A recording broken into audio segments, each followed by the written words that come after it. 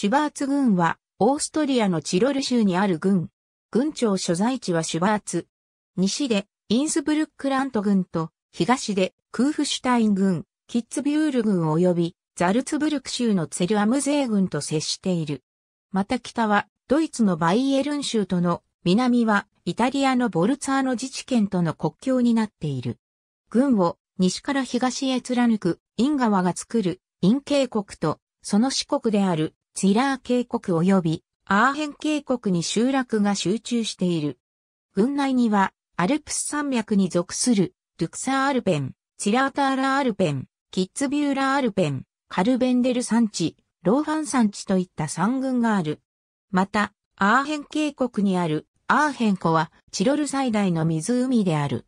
経済の基幹をなすのは観光業で、特にチラー渓谷、アーヘン湖、ローファン山地が重要な観光資源である。商工業の中心となっているのは、シュバーツ、イエンバッハ、カルテンバッハ、ツェルアムチラー、フューゲンで建築や機械、木工が見られる。また山地では牧畜を主とした農業も行われており、景観の維持に役立っている。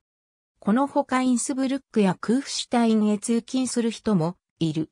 シュバーツ郡には以下の39の市町村がある。そのうちシュバーツ河市に3つが町に指定されている。ありがとうございます。